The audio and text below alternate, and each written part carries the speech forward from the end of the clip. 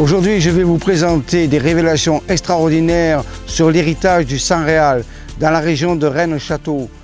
À partir de l'abbé Boudet, à partir des révélations de l'abbé Saunière et d'autres lieux mystérieux et insolites, nous allons aller sur la trace du Saint Graal, de la descendance du Saint Graal de Jésus et Marie-Madeleine et découvrir si cette trace, si cette lignée existe encore de nos jours.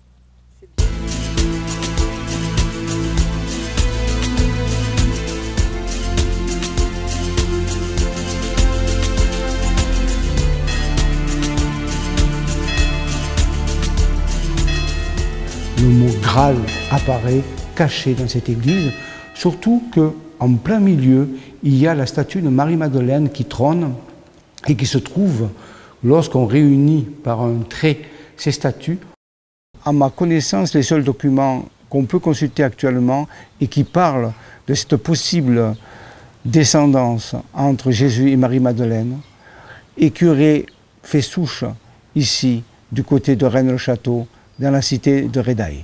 Bien, nous voici dans la ville d'Alet, ancien nom Aletea qui veut dire la vérité.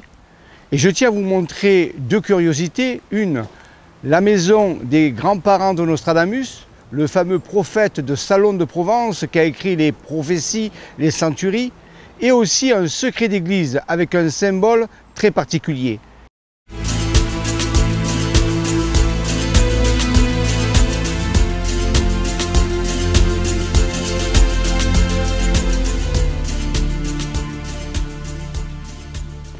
Nous avons vu durant tout ce film différents indices qui nous ont conduits petit à petit vers la révélation finale. La possibilité de l'union de Jésus et de Marie-Madeleine et d'avoir une descendance.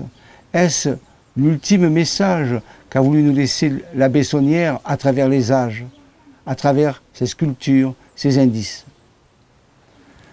Les chevaliers du Saint Graal, qui sont ces ordres qui ont, médiévaux qui ont continué à protéger cette lignée possible.